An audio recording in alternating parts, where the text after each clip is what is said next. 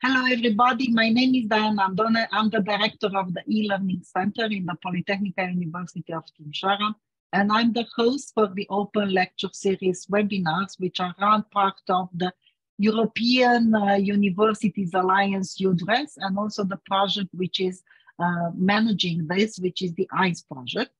If you will allow me, I will start first with an introduction of the project, as uh, that's uh, that's um, th that's the procedure which we are following in all of this. So EINS is the UDRES Entrepreneurship and Innovation Network for Smart and Sustainable European Region is funded by the European Union through the European Institute of Innovation and Technologies.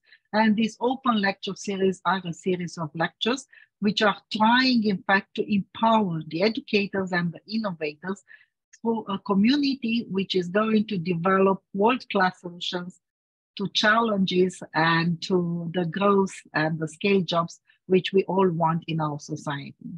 European Institute for Innovation and uh, Technology has nine projects and nine programs in which these are part of. We are part of the EIT raw materials. So we are really uh, trying to encourage all of these uh, partnerships in all the areas. We are mainly focusing on developing major strengths for, for Europe. As I said, INS is part of the UDRES, uh, European Universities Alliance, from which uh, several universities are uh, in the consortium, is led by the Fachhochschule St. Pölten, from where we have one of the speakers today.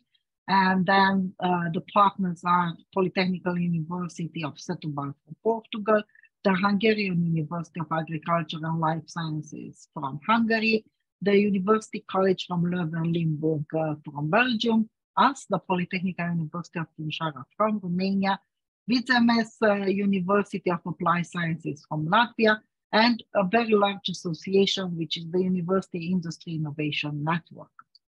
We are mainly looking in the EINS project on how to empower and support the entrepreneurs, which for us are the entrepreneurship and innovators who are planning to bridge the gaps in the knowledge triangle. The knowledge triangle being, being the knowledge between academic, teaching and learning, uh, and research, and the community and the area between us, the region between us. We are all thinking about how to encourage our education to become more learner driven and how to encourage innovation by, in the same time, trying to provide the expertise and the resources for a smart and sustainable European regions the regions in which our universities are located. The open lecture series are eight open lecture series. This is open lecture number five. They're all online and accessible lectures provided by the project experts, and they are planning more or less to enhance the entrepreneurial and innovation education, as I said, and it's run in a specific format. You can ask question and answer in the Q&A here in Zoom, there are going to be some activities and reflection in Menti, which is going to be commented by our experts. At the end of the Zoom meeting, we are going to have a quiz, which is a test for everybody who is part of it. If you answer positively to that test, then you will receive the open badge. The open badges are stackable, so you will be able to receive from each of them a different badge, and only those who are going to uh, finalize successfully with the test and participate in all the open lectures are going to receive also a certificate. This time, we are going to have a very interesting open lecture dedicated to digital media with colleagues from Austria and colleagues from Latvia. And it's my great pleasure now to uh, introduce my colleague. I just want to bring him also uh, live here next to me who is professor, Do Jakob Doppler, um, coming from Fachhochschule St. Pölten, the University of Applied Sciences from St. Pölten, Austria.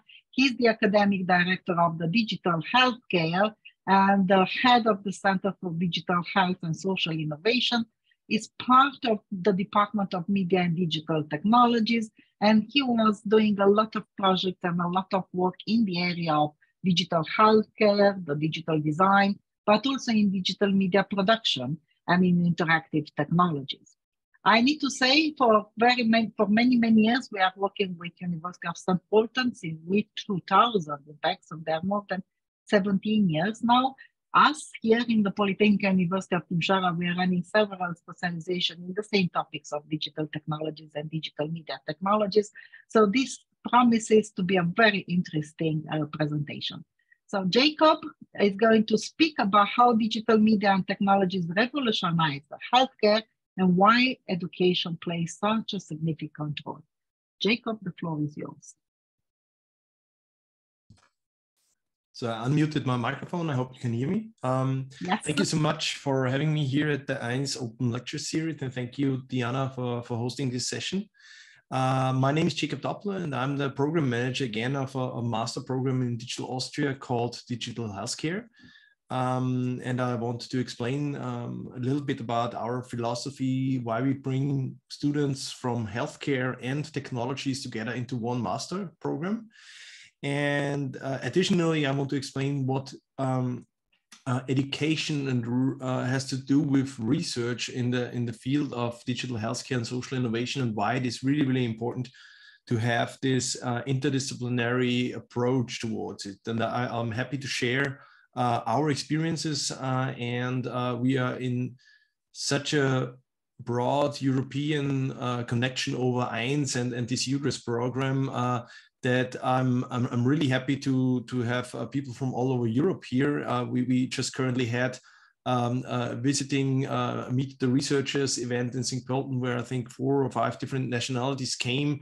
I, I, just hired, and I think this is interesting because so many people from uh, Romania and, and uh, specifically Timisoara are here. Um, I just we just hired uh, a junior researcher from uh, Romania. Uh, it's I think it was Technical University of Bucharest, who is super happy to work with us in, in Austria. And we, we have him also in the field of digital healthcare.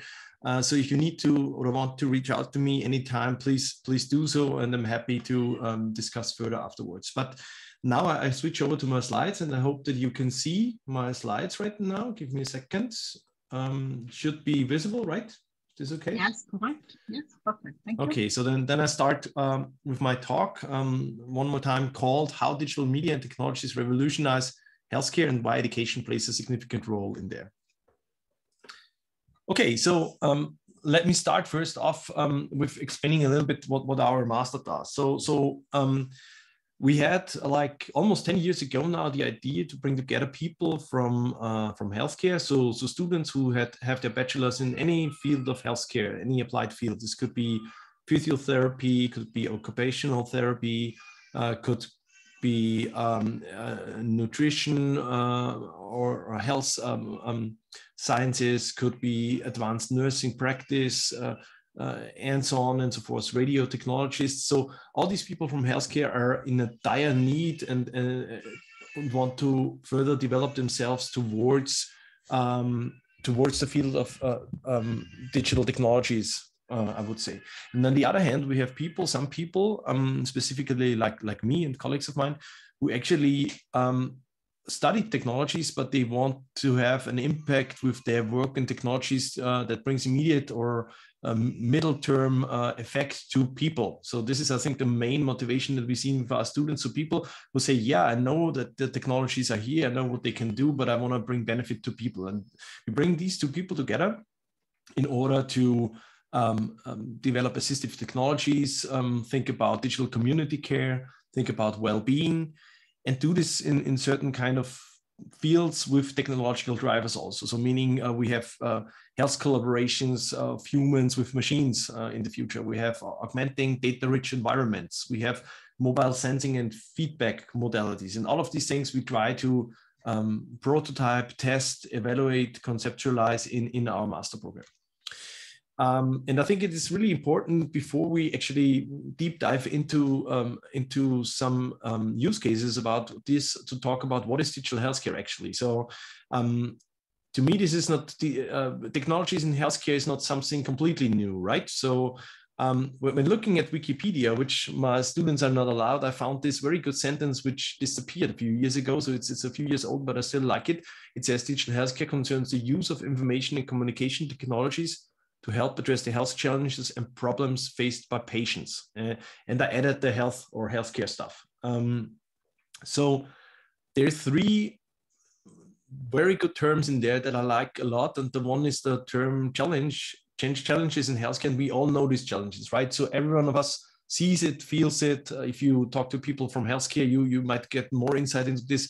Uh, we have a huge demographic change and shift uh, going throughout Europe and all the developed countries, you could say. So people are getting older, or as others might say, we, we don't have enough young people, whatever this means. So, and of course, this changes a lot when it comes to the uh, sheer number of cases uh, that happen to be uh, in healthcare. This changes everything when it comes to having doctors, general practitioners in rural areas uh, where you have more cases than doctors and, and, they disappear because the work there is so hard.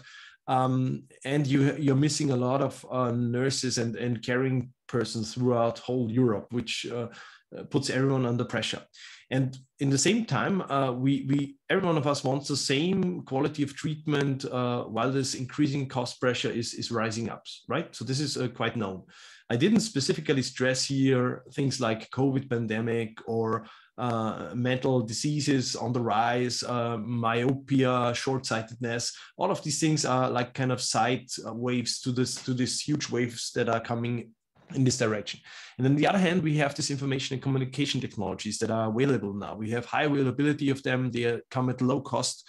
Uh, I mean, think just of um, of sensor technologies and what you can all do with uh, miniaturized um, computing platforms that are not no no uh, uh, no larger than a coin right? Now where you have bluetooth you have wireless lan you have uh, the sensing modalities and you can drive a web server on this size or even virtualize somewhere in the cloud right? So there's a lot of things actually happening outside and the question is can we somehow use this in order to improve healthcare? Um, and even uh, the European Union, for example, in the e-health action plan, which is quite some years old, says that ICT, um, uh, information and communication technologies, uh, becomes increasingly important uh, to deliver top quality care to European citizens. So everyone is acknowledging this. And um, the third thing that actually is in this sentence is the sentence uh, that says faced by patients, faced by healthcare staff, faced by relatives. So we have a user-centered design uh, immanently integrated in here. So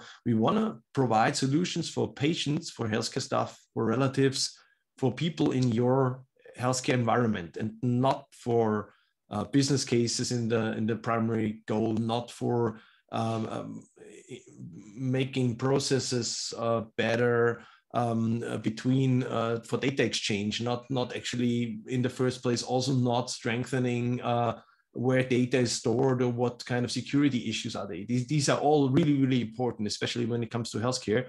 But um, before this, we need to have use cases for people and we need to have improvement of their daily work and their daily life. This is what we really want to achieve with digital healthcare, if you ask me. And this is not based on, on uh, just our assumptions. So if you look, for example, at the very uh, wonderful Topol review, which uh, was done in February 2019 by the NHS, uh, so the the healthcare system in um, the UK, they also state, based on uh, quite a lot of research, that within 20 years, 90% of all healthcare jobs in the NHS, no matter if you are just a, a, a, nurse, a doctor, or if you are a healthcare provider in a rural environment, you will have the need for digital literacy. If you don't have this ability to navigate in data-rich environments, you're basically to some extent lost in your job. Yeah, and this also comes with um, with new chances um, for universities, I would say, or for for also the fields of, of healthcare. So we need cross-disciplinary approaches in healthcare, and this does not mean that nurses and doctors should talk more to each other, but this means that computer scientists, engineers, uh, bioinformaticians, uh, need to talk and, and find a common basis together with pharmacists, with therapists, with doctors, even with patients and users. So we need to have cross-disciplinary approach as a DNA for this future of the healthcare system, definitely. And um, question here is then, what are the needs in healthcare anyway? So um, when, when you look at it from a, from a computer science perspective, you could say, okay, we, we, we sense data, we process data, and we re-interact data. Yeah? I, I put this specifically at the bottom of the slide because I dearly believe that the human needs in healthcare are much more important. So they should be at the top. So first formulates what your needs are, and then maybe there is a technology that somehow enhances, improves um, whatever you process you need or whatever kind of treatment you need. Uh, not necessarily alone. Yeah, we won't uh, have the, the care robot driving around the next 10 years, uh, but maybe in 20, 30 years. And the question is, what is he, she, it uh, allowed to do? Uh, and how do we interact with these kind of robots and digital artifacts? And if you look at healthcare also specifically, I believe that healthcare is not only the healthcare system per se, but we have um, working conditions, we have living conditions, we have communications conditions and needs, mobility conditions, and healthcare uh, also split up between health and care. These are two words um, where you can play around. So also the social aspect of, of healthcare is really, really important when it comes to it. So, and that I think that we need solutions that actually take these two things, so human computer interaction and um, uh, human needs together. That's why I also didn't write ICT or technologies. I wrote human computer interaction.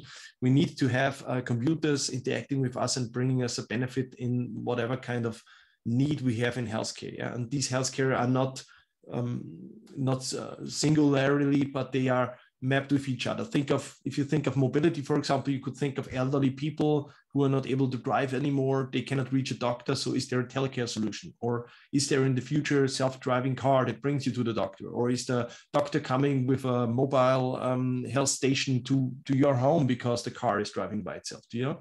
All of these ideas are actually somehow at the start of moving uh, our society as a whole and, and making a big shift. And if you look at the digital healthcare system, um, um, people on the outside they often think, okay, this is inpatient care, right? You are going to hospital and there is healthcare happening. Uh, but of course, we have also outpatient care. We have um, the ability to, to go just for one day to a hospital, uh, to an ambulance, uh, or to get treatment on the outside of the hospital. Um, then we have this primary healthcare achievements, um, at least in Austria, they are on the rise. So bringing smaller units to rural areas where there is no doctors anymore is really a big thing. but what I personally find interesting is that when you think of healthcare cases and what kind of cases, what kind of needs people have, then we often forget about uh, laypersons and informal care. So things where healthcare happens at home, right? This is the mother or the father who um, uh, checks, maybe non-evidence based, if the children are going to school the next day because there is COVID or they have fever, um, or um, if someone is actually assessing his own health status without having a, a, quality check in total. Yeah. And still, these questions exist, and people really tend towards using all the sources that they have available. So that means um, we see at the brink of healthcare, we see um, a lot of um, fitness and well being applications uh, running toward the people without any uh, evidence in, in, in, in a medical or healthcare perspective, like uh, nutrition, like uh, stay health and fitness with CrossFit, freeletics, and whatever this is. But basically, no one is doing a check with you if if these uh, exercises are good for your health anyway. Uh, if you can do this, if you, this is your your level of performance that you need to meet, right? So there is the biggest chance actually to innovate, if you ask me, in, in healthcare per se. Now, allow me a, a, really quick look at, at digitalization. I mean, um, uh, those of you who are from from uh, digitalis, uh, who are from tech, somehow please excuse this slide, but I still find it interesting. So, digitalization is not something that is new; it's somehow bound to communication, and this is happening since the Stone Age, right? So, we copy things, we remote transmit things. At some point, we we found out that this is happening. We had bidirectional communication, uh, radio signals sending around we do this in real time and uh, we have now multimodalities in multimedia. So doing uh, computer-based surgery from New York to uh, Vienna is now something that is not within reach, but it's been done actually basically by experts. Um, and this is really the huge shift that I think why the healthcare sector is, is um, innovating a little bit slower um, than, than other branches. And there's some people always questioning, is this really happening in healthcare, right? We need treatment, we need wound management, we need uh, to take care of elderly people. We don't need any digitalization there.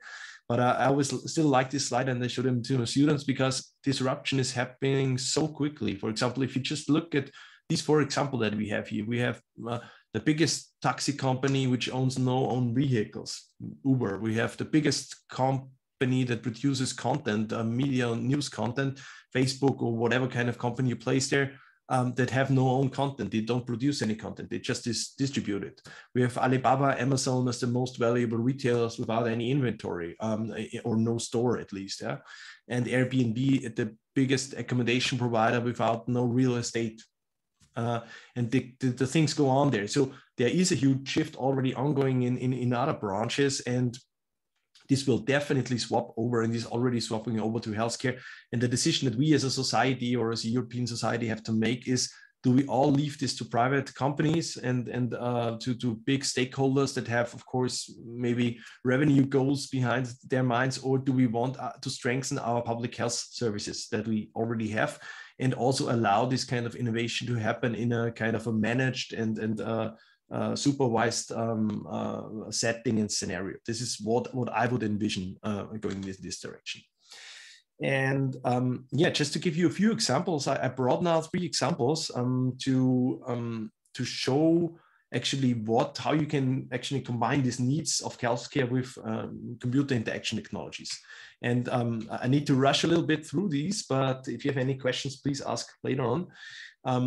So for example, we, we, we asked elderly people, we invited, we had a research project inviting 20 um, seniors to our university and asked them, what do elderly people without any media literacy actually need in the internet or in the online worlds? What do you want to have? And we imagined something like they want to have a care robot or they want to have uh, the smart home control that controls the shutters or makes a coffee in the morning, all these cool scenarios, right? But if you are living at home um, and you want to stay healthy and you want to stay fit in your own environment, you don't need someone who's automatically turning your light on or off, right? This is not your main concern. Your main concern is actually getting uh, entertainment, getting information, and communicating to people. And this is not much different than from any other target group if you consider this like this. So what we basically did is um, we, we developed with them prototypes of user interfaces and uh, these low, lo-fi prototypes we developed into high-level interfaces and we made kind of a a platform where they could uh, interact uh, with each other, play card games, uh, which is popular in Austria, and also have video communication, uh, uh, by the way. So, so this is a small box that you connect to your TV, and you have a tablet that basically uh, is a kind of a control center for the visualization of your TV. And then we have something um, that actually gives them the chance to communicate to someone else without IP addresses, without two-factor authentication, without uh, IBAN uh, codes, without whatever is necessary, all these perks that we have to accept and somehow accept in our in, uh, in our technical world, right? So we need simpler interfaces. This is the message that I want to spread. Um, and uh, unfortunately, cannot show show this video too much. Maybe just uh, skipping through a little bit, but the people they really liked um, uh, what they saw. They, they did these field tests uh, at our universities, um, trying this out. The funny comments after this were really that they they said one said yeah this is even uh, accessible to me in my young age. Some some uh, some senior with 80 years old who never used a tablet before said at the end and she said this would be wonderful if you are isolated at home in the winter for example and you have no chance to go somewhere then at least have online communication. Yeah.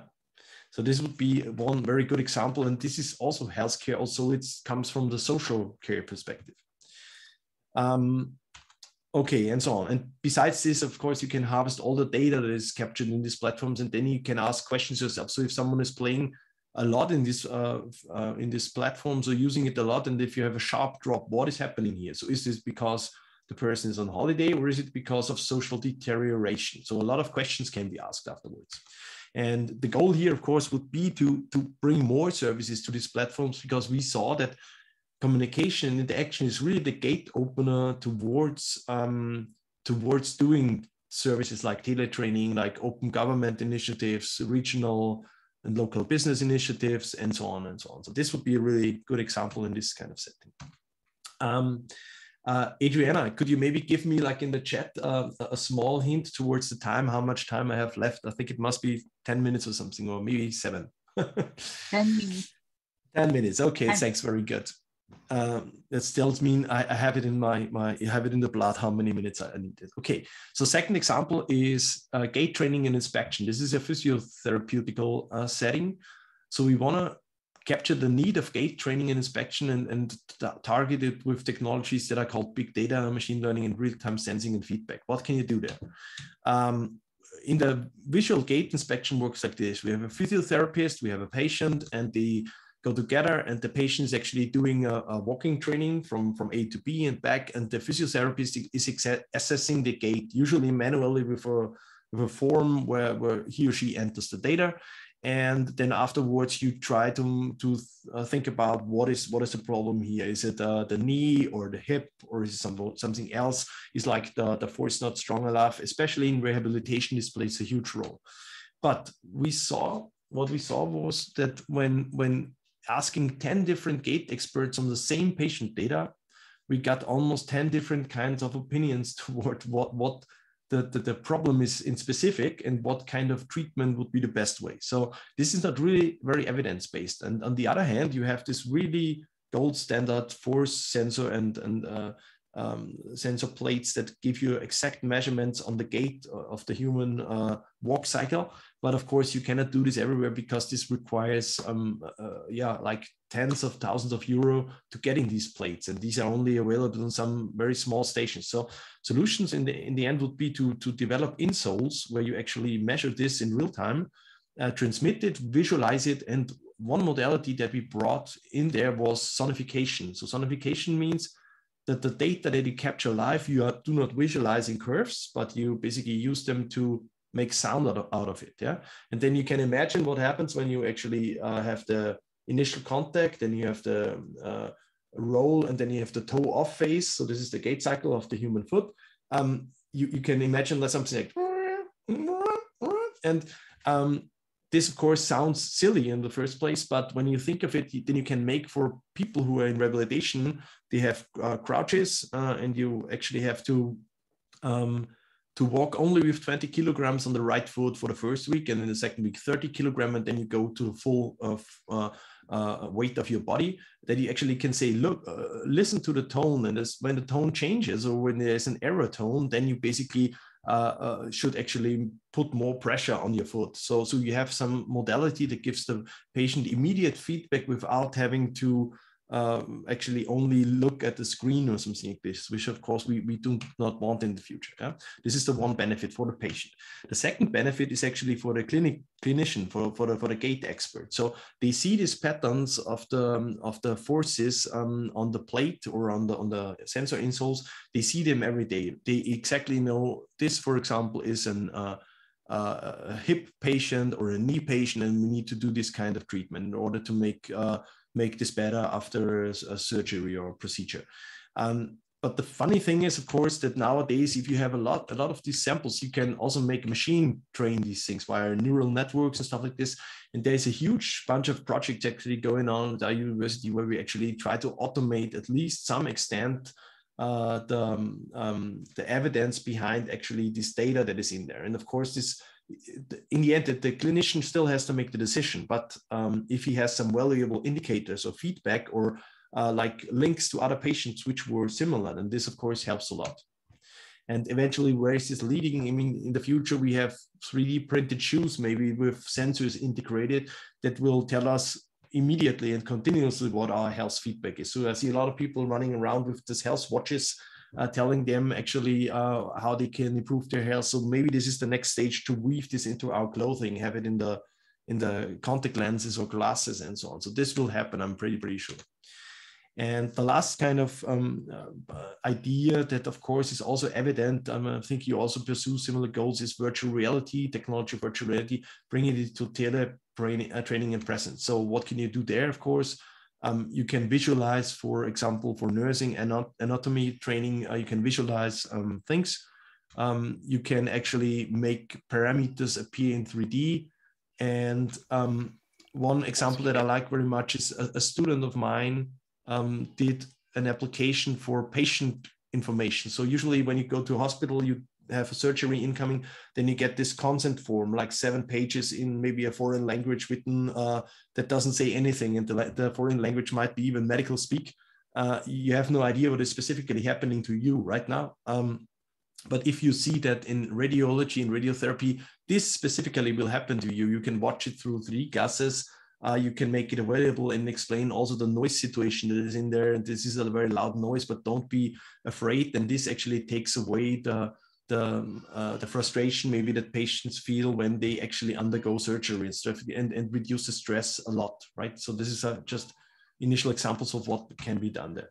So what is the setting for innovation? Um, if you look at three years of digital healthcare, um, this is my degree program, um, then we have a lot of different kind of professions in there. Usually we, some people thought this can never happen because there's so many things to clarify people don't speak a common language but that's exactly what we do. We within two years of the masters people establish a common language and they learn from each other and they're a super super valuable kind of interface between really really technical people and really really healthcare advanced people. So these are we need the glue in the middle that helps translating in uh, demands specifications and so on. And this is where we're really successful in this.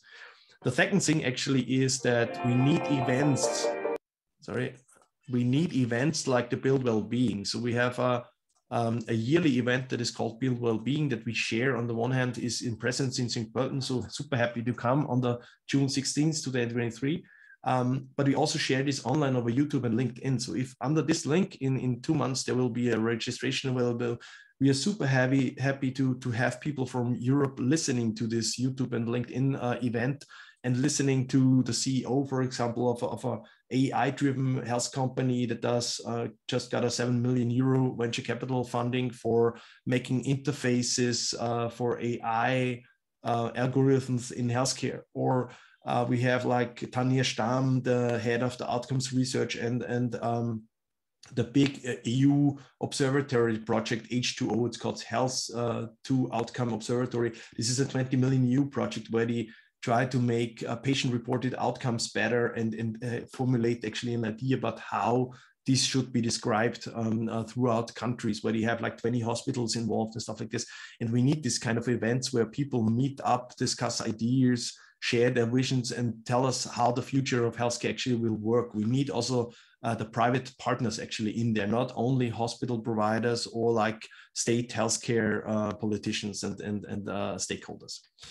Yeah, the third thing that you need is an innovative program. Um, so we, we, we have this kind of innovative program where we let uh, students relatively free in three semester ideate, uh, come up with an idea, then we smash it to pieces, um, uh, rebuild these ideas. Uh, we make them do prototypes with technological um, advances like AR, VR, um, uh, artificial intelligence, but also mobile computing and stuff like this. And then we evaluate these kind of projects and they formulate their master thesis in there. And this is, uh, at least to our extent, pretty successful because we some of these the best uh, ideas of this are actually getting uh, publicated um, uh, together with the lectures that we have. Um, we have platforms where we actually share these ideas online, like our digital healthcare students show. Really, you can find this online um, uh, we, we, we, do prototypes that we test with kids in school uh, for, I don't know, uh, anatomy training and so on and so on. So there's a lot of things actually going there. And my final word here, and then I'm, I'm done and hopefully didn't uh, overstretch your time, is that I believe that in order to, to innovate, you need to uh, get your hands dirty. So what we did, for example, when uh, physical presence um, um, events were not possible was that we just learned how to do streaming uh, over YouTube and how to uh, bring all these things together. So um, we, we, we, actually, what you see here is we did this Build Wellbeing, so a conference that we, we had each year uh, with about 100 participants in presence. Uh, we, we, we, we just said, okay, we do it online and people can listen online. We had uh, around 100 people uh, participating online for almost two and a half hours. So this is really something that, that I, I personally like the most that the people stayed all in there. So no one dropped out for these two hours. And then people actually uh, went and, and they, they enjoyed the full event online, which is not self-evident if you know uh, how, how your people nowadays attend online event. They maybe do it on the side and then just close it and leave off. But it, this means that um, people are interested in digital healthcare and uh, um, they want to get this information uh, specifically when it is offered to them for free, of course. so um, with this, actually, um, uh, thank you so much for your time, and uh, I hope this was interesting to you. Please contact me in any time you want uh, if you have any further question, and I'm still here. So happy to answer your question, and thank you uh, for having this talk. Thank you very much, uh, Jakob. It's really my pleasure to, to have you uh, with us. I was just trying to see if we have any questions in the Q&A or in the chat. Just a lot of uh, praise. Uh, quite a lot of people enjoyed your talk and your presentation. So I will have a question for you if, uh, if I'm allowed to. And my question will be more, how important do you think is the digital education, I mean, the digital part of the education for the healthcare professionals, because uh, this is something which is a bridge between two very different professions, if I can say that. And uh, the education probably is uh, becoming even more challenging to really yeah, prepare yeah, the yeah. new digital healthcare profession it's a very very interesting question we, we thought a lot about this because our degree program exists almost since 10 years so i think next year we have 10 years or something like this. Uh, we, we had a, a bit of a shift from from structures and processes in healthcare in the beginning where we, we taught a lot of these things about what, how does the healthcare system work and so on and so on but um, we, we, we, somehow found we have to reduce this um, this in, in, in favor of technological content. And we also saw that the students, specifically healthcare people who had no technology uh, in their studies before, they liked the content and they always wanted to have more content. So we started out with showing people uh, like media technologies, how you can distribute, how you can record something with a camera, do uh, uh, voice, uh, bring the voice in, distribute this online. Uh, second thing was actually teaching basic programming in, in web technologies. And what we do now is actually we, we teach them some um, um, platform as a service, um, AWS, Microsoft, whatever, take whatever you want. And we actually use this in order to show them how uh, AI works. We, we, we teach uh, students of healthcare a little bit, at least the basics of how AI works and how they could actually uh, classify pictures, for example. Or we, we specifically train them how to do simple things in virtual reality or how server client structures work and how you can program like a database, for example. This is really, um, and we can see, and what makes us specifically proud is more than 50% of our uh, students are women and uh, women from healthcare mainly. And these women, uh, if, if you cast the right people to be in the degree program, which we uh, fortunately have the chance to, then they really take all the content they can get. And we, we at the end we have i have like people from healthcare or, or a woman from healthcare who develop into technical project leads in in in, in a tech company. And this is really happening and the uh, whenever the, the tech company get that they get women from there who really have uh, knowledge in healthcare plus additionally this, this uh, tech input um, they always come back to me and say do you have more of these applicants and i say yes i'm happy to provide so uh, this makes us really proud and it's working. This is the, the most important thing here, actually. Yes, indeed. And I fully agree with you, uh, Jakob, if I'm allowed to. I think uh, if you start with education, then you're really being able to provide very good quality of, uh, of staff and of uh, people which are really going to, to, to cross the bridge, if we can say that. Yeah. I'm very happy to, to welcome now uh, uh, Ed Janssens, Edmund Janssens, I hope I'm pronouncing your name correctly. I never know exactly. So it, I make it probably a bit more English, who is uh, coming from Vidzeme University of Applied Sciences from Latvia. And he's the head of the study program Virtual Reality and Smart Technologies. And he is really working very much into how the smart technologies are uh, in different projects and also very active in the UDRES Alliance. So I will kindly ask you uh, Johnson, Edmund Johnson, I'm sorry for this, uh, to, to take the floor and to uh, present your speech. Um, yeah, thank you. Thank you for giving me the floor. Um, it's very nice to, that you have um, introduced me to this event and I'm very happy to be here. Um, so yeah, my name is Edmund Janssens and um, I'm as a head of the, the master study program for virtual reality, we are very much interested not only in technology, but also in the ways how the technology, the new technology can be used for, for the public good.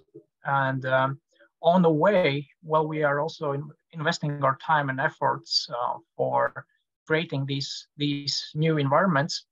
We are also thinking about how and in which ways would the future um, open different paths to us. And uh, for this reason, today I will introduce you to, to the futures thinking approach as for technology and skills foresight, which is uh, something that is somewhat, um, I would say, overshadowed by giant leaps in technology.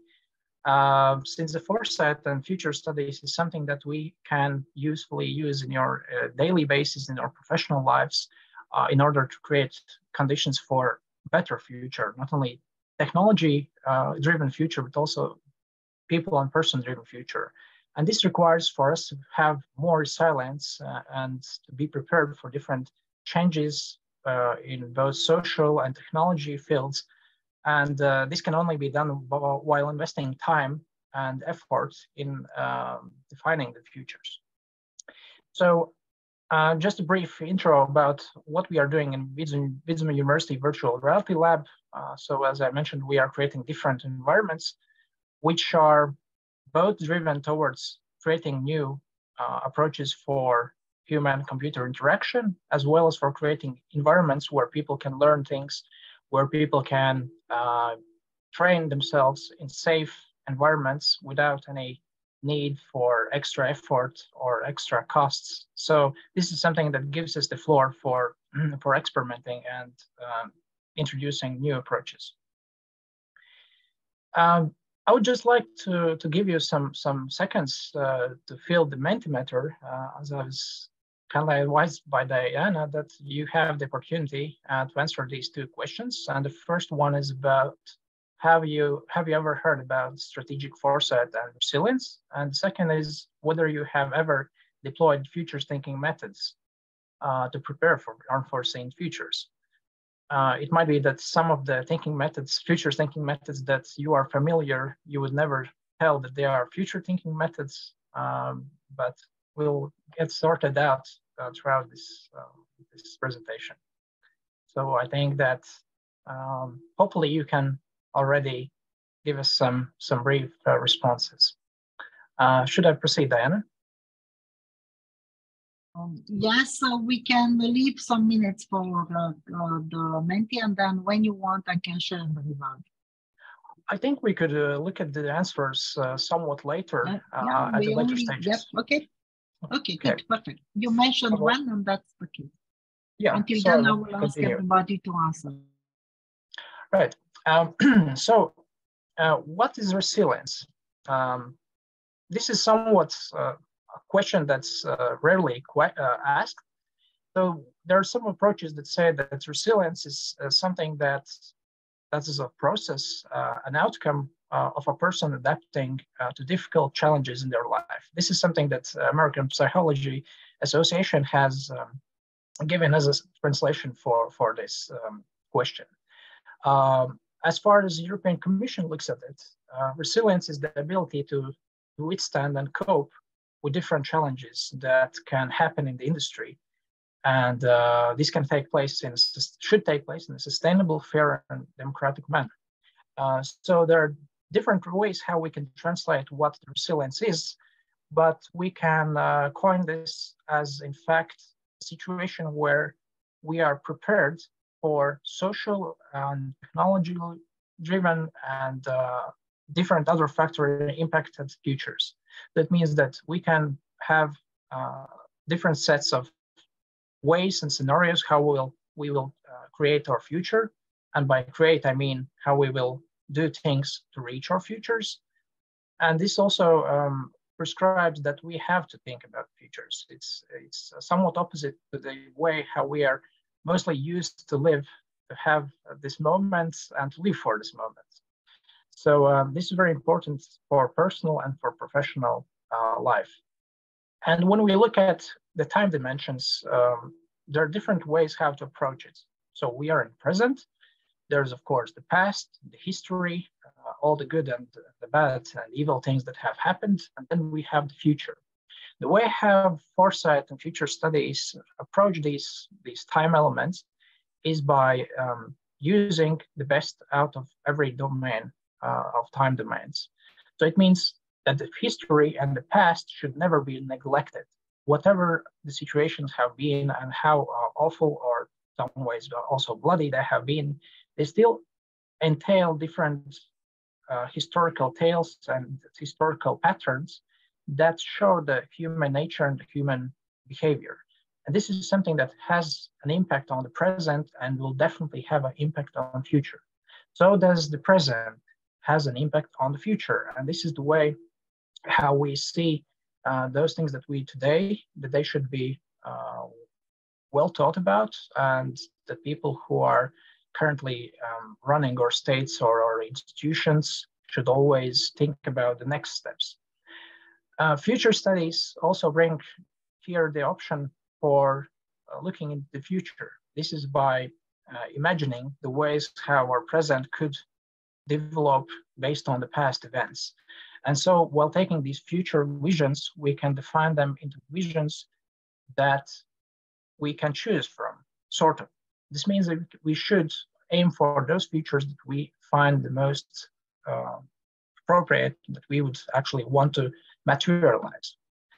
And um, as we are currently looking at the, way how the most of our population, our fellow population looks at of the present and the time, mostly it's single view of the future that we are in the present and the future will be the, the happy, good days that we would like to meet. And this is some, somewhat um, illusion that also policymakers uh, like and want to, to follow, is that they try to extrapolate the good trends that we are living in today and to say that they will continue.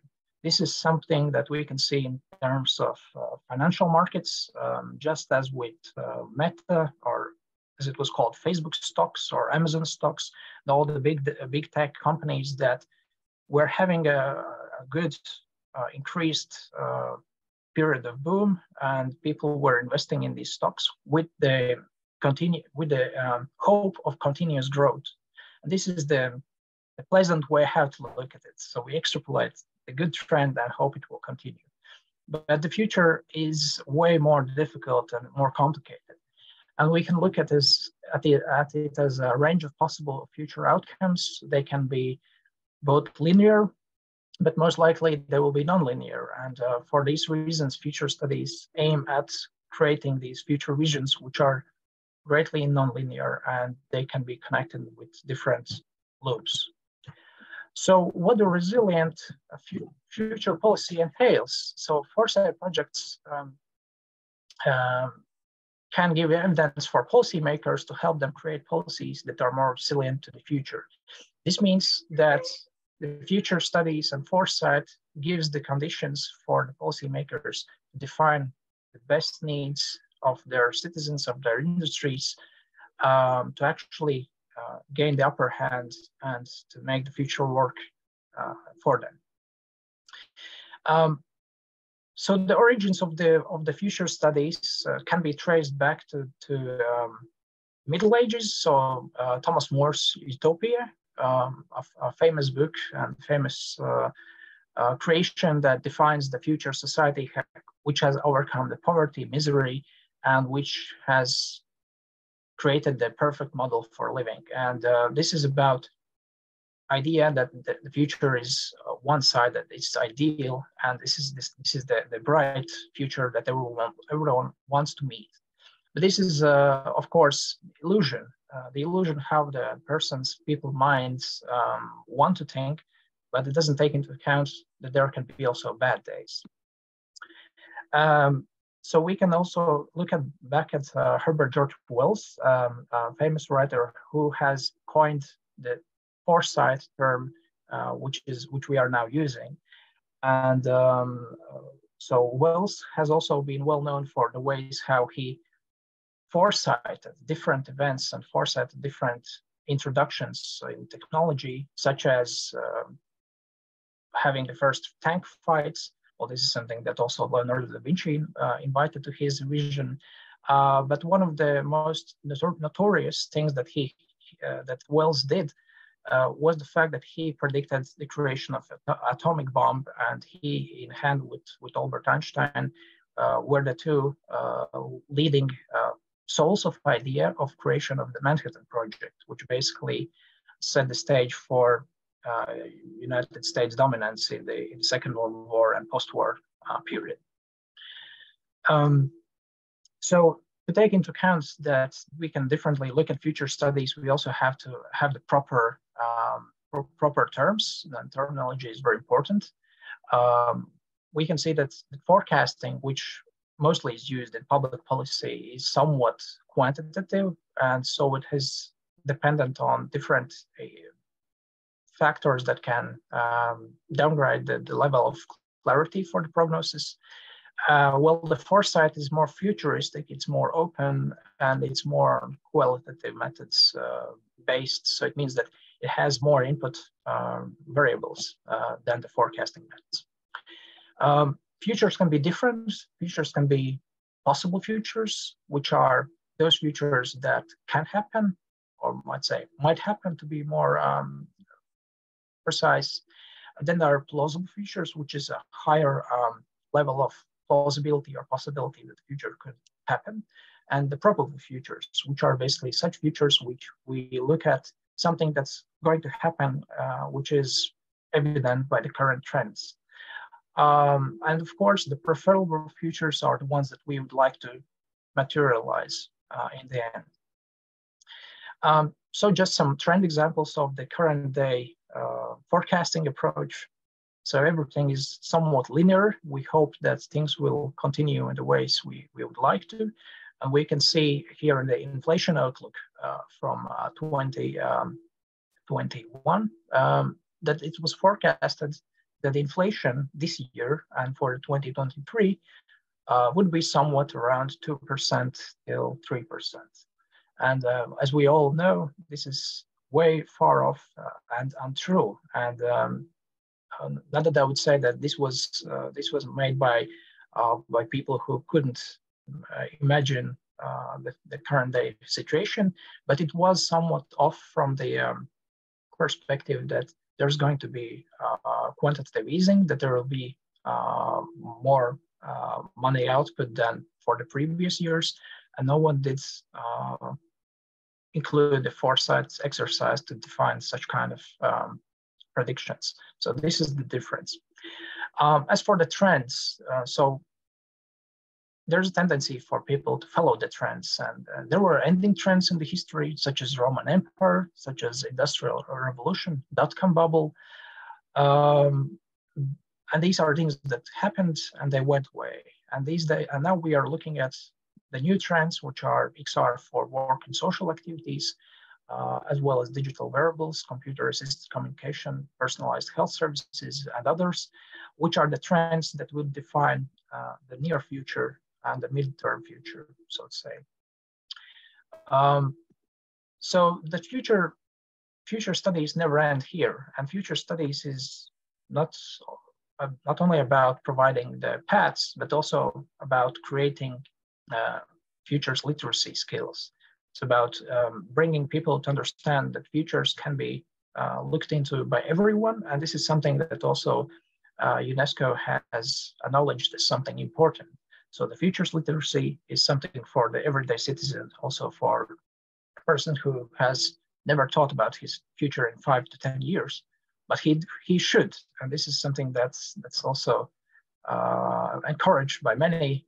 And uh, we can say that this is something as useful as literacy as such. And being futures literate means that the person is empowered uh, to imagine the future, and thus he can create a better future for himself and his fellow citizens. Uh, there are, of course, different uh, good examples for the futures literacy. What can it bring about? And uh, some of them is uh, leadership as an outcome, innovation skills and strategy, um, as well as others, and of course, resilience, as we previously discussed.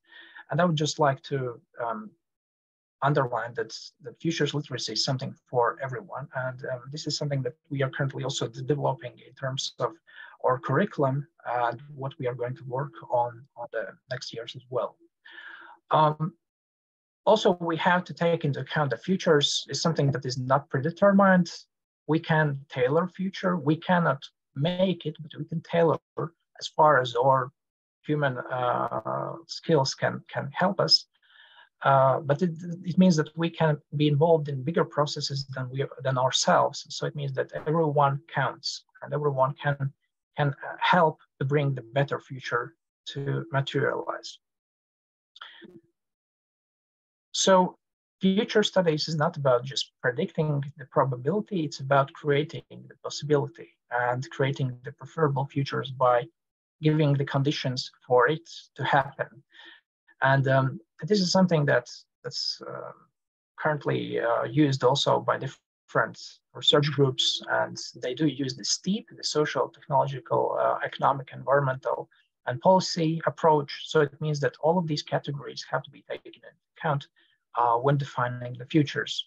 So the future um, is always uh, multilateral, multi uh, multi-level, so to say, and um, a study of the future means that we have to think of different options, different ways how it can entail.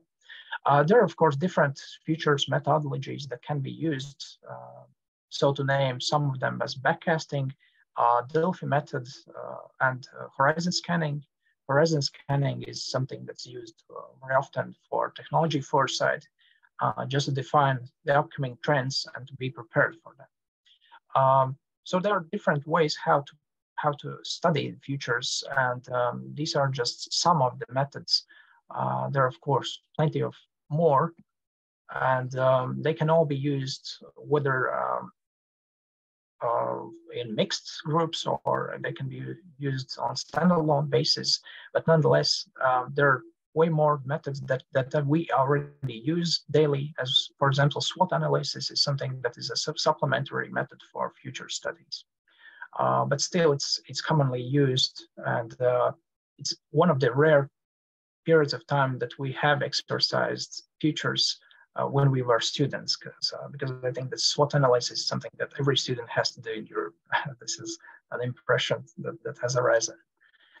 Uh, but for futures, uh, there are also some factors that have to be taken into account, and uh, uh, some of them are the weak signals, which are basically the indicators of emerging issues. Uh, then we have trends, which are, as we discussed before, something that has given uh, us uh, the, the, trend line, the mainstream future, but still they should be used, but with a pinch of salt. That's for that's for necessary. Megatrends, the long-term phenomena that can change slowly, uh, but that happens in the long term and it brings about very impactful changes. So we can say that um, metaverse is one of those trends that happen, uh, which will bring about great social change in 20 years or even fewer years, but it will happen. Uh, wildcards and black swans. So wildcards, some incidents that can that has low probability of taking place, when they would happen, uh, they can have a, a, high impact on the society and on the industry. And finally, the black swans, uh, the happenings which are very improbable, but when they happen, they happen with high impact. And uh, we could say that that COVID-19 was one of those black swans, swans that no one expected, uh, but what brought for all the society in the whole world uh, very high impacted uh, event that took place for the last two years. Um, so in terms of, of defining futures, there are different schemes and approaches, and this is just one of the most uh, simple ones, uh, how we can uh, look at the possibilities of the future. We can say that we can question where we are now and how can it entail. then there's a question who we are and what we want to be. And this can be questioned both by individual as well as by the industry, by, by um, uh, institution, by industry, even by a state. And this is some things that that countries do. They question where they want to lead their citizens and how can they get there. And all on their way, they have strategies and action programs which are uh, fruitful and they bring about change.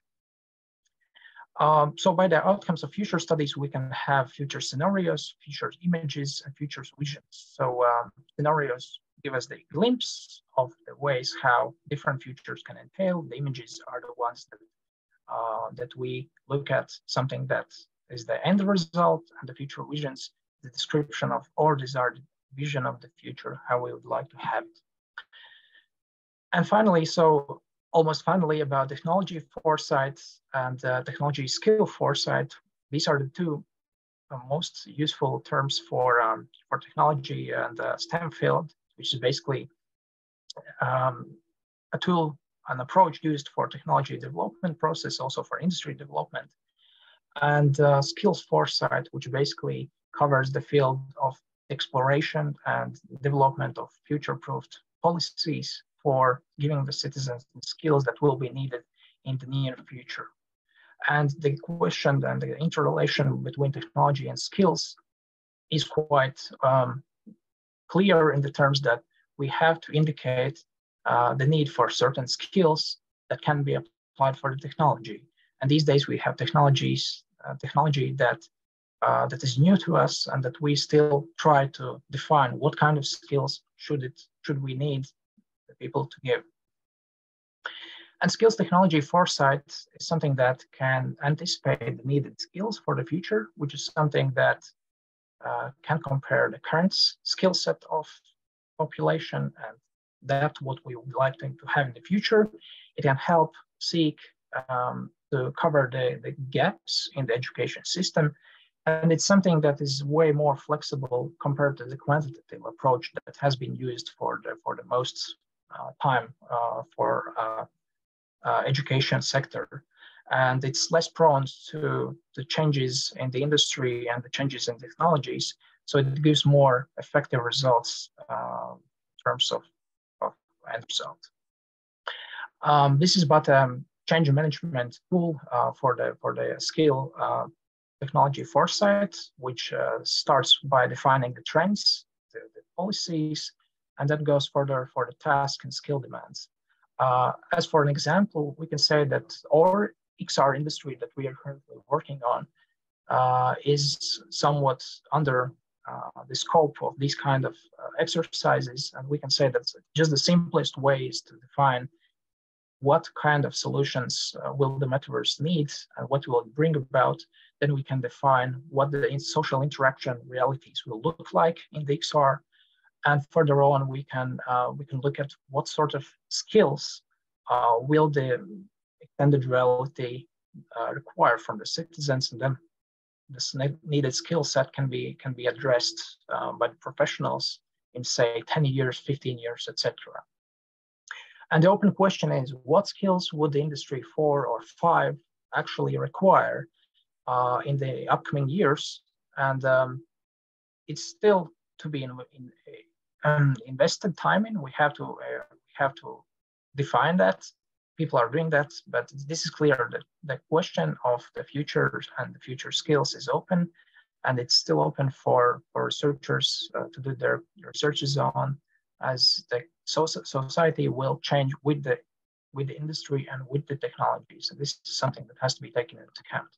And actually, this is something that we are currently also doing, as we have three digitalization projects uh, covered by um, ER, by European Social Fund, which is aimed at um, increasing the digital skill set of our citizens, of our students, uh, most um, specifically for the DigComp skill set. So we'll try to define the needs of, this, of the uh, students uh, in their near future and midterm future uh, to hopefully bring them to their best positions in the, in the job market.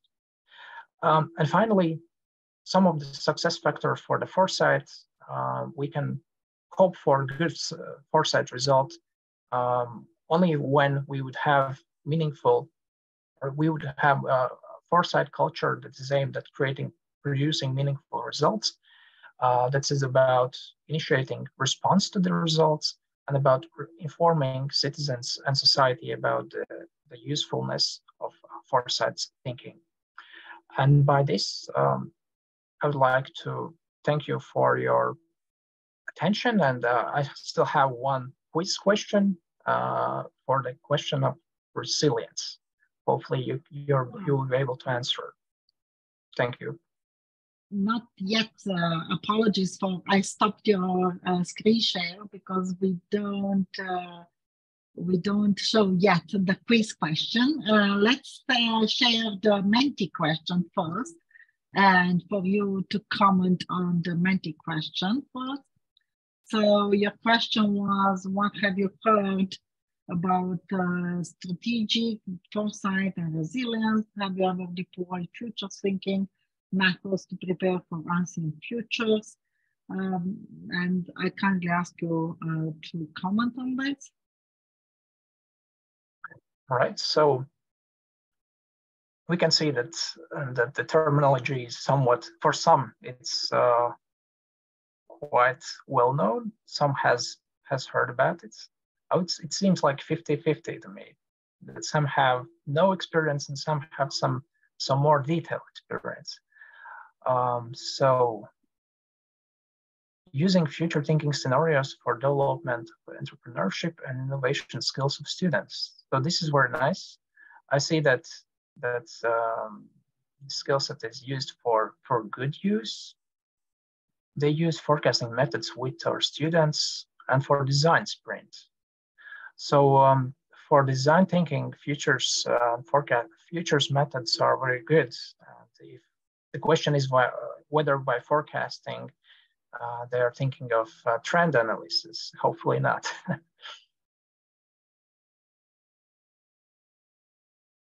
okay, so we have quite interesting uh, answers, but also some yes. which uh, clearly show, in my opinion, that the topic is very new for, for quite some. I will kindly ask also uh, in this moment Jakob to join us if it's possible. And um, perfect, thank you so much. And as far as you see, uh, we have had a very interesting and uh, challenging uh, discussion. I don't see any questions. Oh, I see one question. So, uh, Jensen, one question for you. Is it important when we think about defining our professional future to relate to what others say and do? Hmm. Well, this is um, the good old question. Should we uh, make happy everyone? And I would say that we can never make everyone happy, and we would we, we should aim for um, feel for reaching the thing that we we we hope is the best for us. So we should aim for the future that we think will bring the benefit to us. And if we look at the industry or skill set that we we fully uh, believe will be needed in the, the next five to ten years, then I would say that in, in five years, the person who was unhappy with you as a person of choosing this kind of uh, skill set, he would say that you should have definitely learned this skill. Why didn't you do that five years ago? So um, I would say that this is more about uh, personal choices rather than social choices. Uh, choosing your skill set is about your personal choice. Indeed, indeed, if I can say that, and I think uh, this is quite uh, quite an interesting uh, perspective because this will show us, uh, in fact, exactly how you can uh, you can really do. And we have been uh, discussing from digital health to future casting today, and I need to say that as a general view, I will clearly want to see some some methods, especially, for example, the wild cards method, which I quite know and apply sometimes, apply to the digital healthcare systems in, in several countries. So uh, that's not a joke, uh, unfortunately, but uh, it will be quite interesting to see a cooperation between these two uh, research groups uh, in our UDRES areas, even if they seem so far away. I still think uh, there's a common ground somewhere. If you will, uh, if you want to comment, uh, Jakob or Edmund, anything, please. Mike. Um, on potential uh, corporations, yeah. Um, um, um, so we, we are always searching out to to other fields. I think this is pretty important, actually, in in at least what concerns my work. So I have around I don't know 15 to 20 years of work experience. Um, um, I, I, worked with fashion designers. I worked with uh, with industry sensor producers. I worked with architects. I worked with uh, media designers. I, I worked with uh, uh, people who build elevators. I have so many different kind of, and, and in each of these scenarios, I basically learned quite a lot. And now I'm applying this to healthcare. And uh, healthcare per se is like a field that is interdisciplinary when you take all of the professions that are needed actually to, to drive it. So if you want my my raised hand for for interprofessional collaborations and for transdisciplinary collaborations yeah all the way through do it do it this is my really number one uh, advice that i would give because you always learn so my, my my main motto is even when i start with the students each year i tell them that everyone is a student and everyone is a teacher so uh, we learn from each other and also we learn from the students each each other day so that's that's should be quite common actually Good. Until uh, we answer the next question, which we have, which is a combined question, I think, uh, for both of you. Um, for our participants and attendees, you know the rule. We have a quiz now, which I'm launching in this moment. And please answer to this quiz. Uh, there are two questions. One has only a single answer correct. The other one has two answers correctly please answer to these questions, the attendees. And while we are answering to these questions, and uh, you are doing this, I will ask the next question, which has popped in from Anka Dragic, uh, quite a good professor from our uh, university, which is cyborgs like future products of digital health. What do you think about this? So um, I think this this can go to both of you, in fact. Um, well, uh, if I may have the floor, so um, I would say that that uh, there's a link. Um, uh, the, the current trend is that we are heading towards uh, deplatformization of humans, meaning that there's a, a trend is towards becoming cyborgs, uh, as whether we want it or not. Uh, the technology is going to, to drive us further and further away from, from our natural selves. Uh, this is something that um, I would say that will happen due to the social pressure, meaning that the person who is more capable whilst using technology, uh, he will bring more people with him. So it means that once you have the early adopters and then you have later stage adopters, then those who are the laggers, uh, they will they will have no other option but to, to opt for the technology. Otherwise, they will be left outside of the, uh, the competencies that are needed for uh, successful career or possibly life.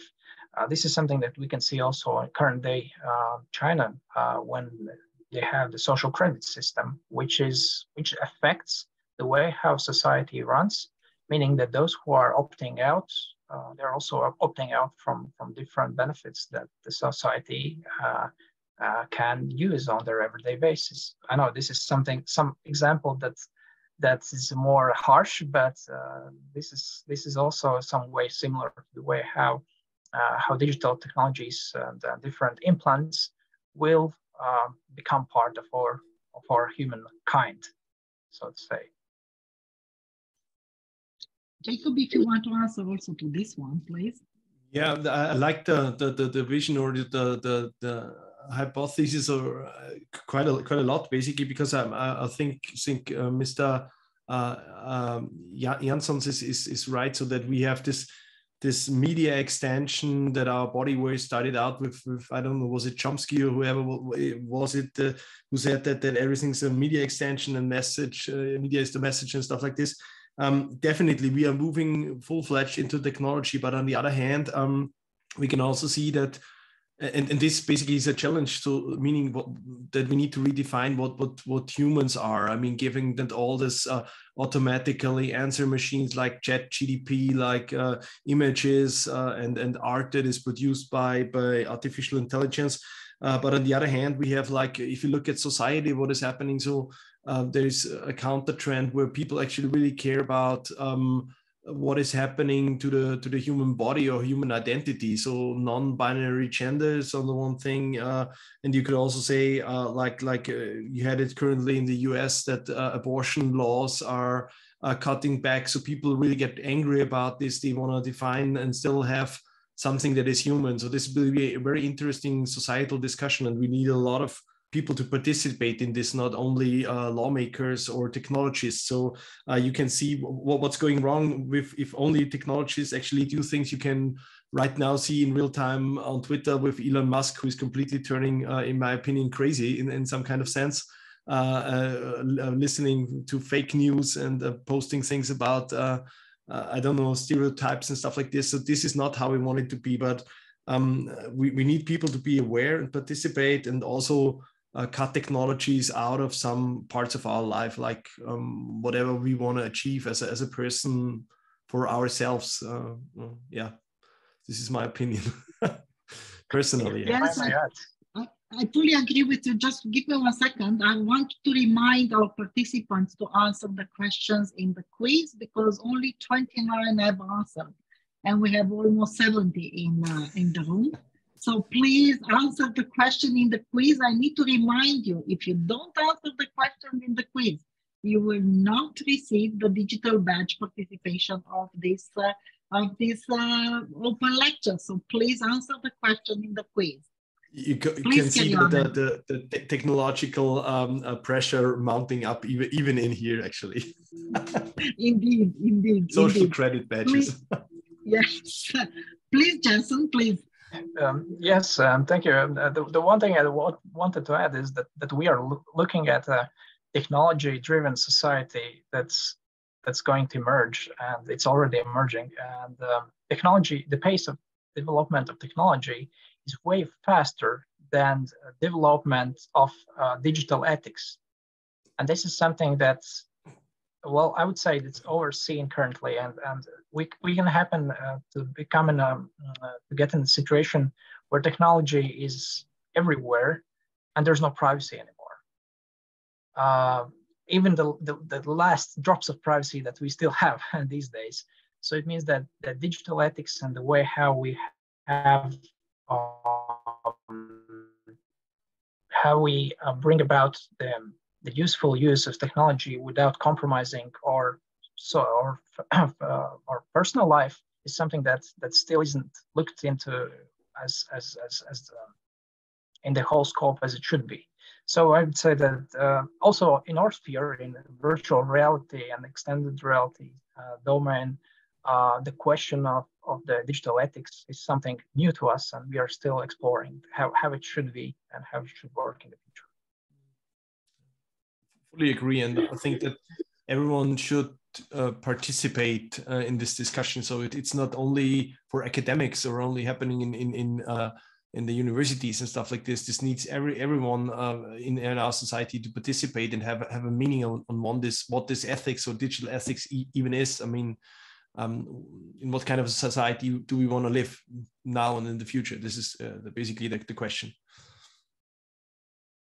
Yes, and I, I fully agree that, in fact, uh, the discussion about ethics and uh, building up digital competencies and digital skills and media skills is uh, our due, uh, our university and the education system. Because if we don't do it, and if we don't do it not necessarily only with our students, but also publicly for our community and our regions, then who else? And um, and we need to be more open and more clear about that.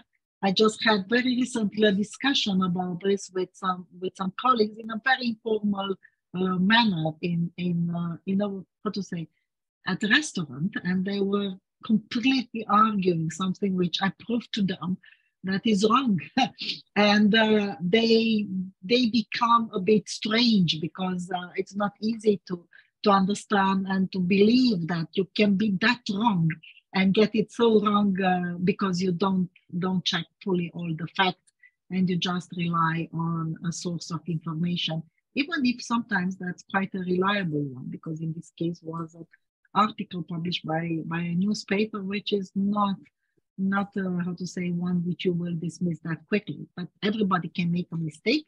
Um, in romania was quite a famous one um, during the halloween this is uh, me losing a bit of time until I'm still waiting for people to answer the quiz.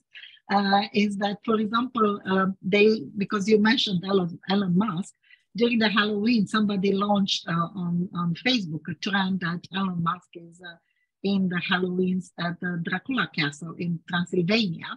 And believe it or not, all the national television and the major newspapers, without fact checking, they made a news out of this that Elon Musk is in Romania and they were going frenzy trying to catch him where he is and with what plane he arrived and so on. And, and another important act, Hollywood act, actor had a party then. And they, until they managed to realize that it's not him and he was not there, it was two days. And all the major televisions were a big laugh of quite a lot of the people. But this is how quickly uh, fake news can spread if you don't fact fact checks, and, and it's our job, I think, uh, to do that as more seriously as possible. Okay, so time's up. I had all the patients in the world now. So let's see the results at this moment of the quiz. So this is good because the first question, what approach does it need to be to innovate in the field of digital healthcare for patients and healthcare staff? The correct answer was transdisciplinary research and development towards applied research, focusing on the needs and benefits of patients and healthcare staff with an open innovation approach, sharing knowledge across borders. That was correct. The second one was more tricky. So resilience mainly is ability to dream, conditions for ima imagining futures, personal or institutional readiness for the unknown, and preparedness to act in response to external challenges. The last two questions are the correct ones. So we only had about 56 to 76% correct answers to, to this one. So this uh, has shown that it's a bit more tricky. I need, uh, I will, I just shared now the results so you are able also to, to show and to see all of these results by yourself. If you are still in Zoom, we still have quite almost everybody in Zoom. So you are able to see if you answer correctly or not to your answer, to your, um, uh, how to say, to your question. And uh, this can be quite interesting. And I will kindly ask uh, um, my two guests from today to, to give their final remarks and to close the session in the next two minutes. Uh, let's start with uh, Professor Edmund Jensen. The closing remark, if you have one. Well, thank you everyone for spending this this this, this almost an hour with us, uh, even more. Um, thank you for for uh, showing your interest. I hope that the topic that that I covered in terms of future studies something that you can um, could relate to in the future. Uh, everyone is very welcome to address me uh, if in terms you, you find it interesting to um, collaborate in terms of future studies or in terms of virtual and augmented reality as this is something that we are uh, these days working on and hope to have more uh, people joining us. So um, Thank you and hope you will have a prepared and resilient future. Thank you very much. Uh, Professor Jakob Doppler, please. Yes, uh, thank you so much for for having me, and uh, uh I really believe in this in this uh, interdisciplinary trans uh, cross border um, cooperations, be it in in in teaching or be it in in research. Um, and and of course this um, like initiatives like like EINS uh, or our uh, European University UDRES uh, help help a lot in these endeavors. It it always takes time to actually understand each other. This is something that that I also learned. Um, so so take your time to understand the positions uh, over disciplines, over over institutions, over over uh, country borders, and we will uh, have a, a very good European um, future coming. Um, I'm, I'm actually a little bit, this is like a political side note since so many from, from Romania here. So uh, I, I, I, follow politics a lot. And, and within the last days, actually, uh, one really stupid Austrian politician, I, I, I, don't know if I'm allowed to say this, uh, he uh, like almost single-handedly canceled uh, like the Schengen uh, border, cross-border cooperation to Romania. Um, uh, pursue your goals even further. You you'll be part of this Schengen uh, soon. This is just a, a, a, one more time a kind of a nationalistic uh, agenda that doesn't get us anywhere. And and uh, uh, again, I, I, have a junior researcher now from Romania incoming. We had visits in in Timisoara, I think, a group of uh, St. Pölten. from Austria, we had people from from Romania here, so super happy to collaborate in the future and, and see you again in any of these kind of events. Thank you very much. Yes, you are right. Um, and we cooperate with the Fachhochschule of St. For more than 20 years. I was there when your uh, campus was open, 25 years or 20 years ago. So quite a long time. And the same, we are very happy to cooperate now with the Vidzeme University from Latvia. And I think the UDRES has had very interesting partnership now, very different in some respect, but still very close. And I really see a future. And I need to say we became quite good friends with several of them, even in a short period of time. I need to say also thank you very much to the participants and also to the speakers for their time and for their knowledge, which they very happily shared today. Uh, thank you very much for all the participants who attended the fifth uh, open lecture series of the EINS uh, UDRES uh, project. We are going, coming back after the holidays, so in January, we will still come back with the open lecture series and we will inform you in time about uh, very interesting two more topics which we have prepared uh, for you. Thank you very much. Happy holidays. Enjoy your time with your family and friends wherever you are. All the best. Thank you. Thank you. Bye. Thank you. Goodbye.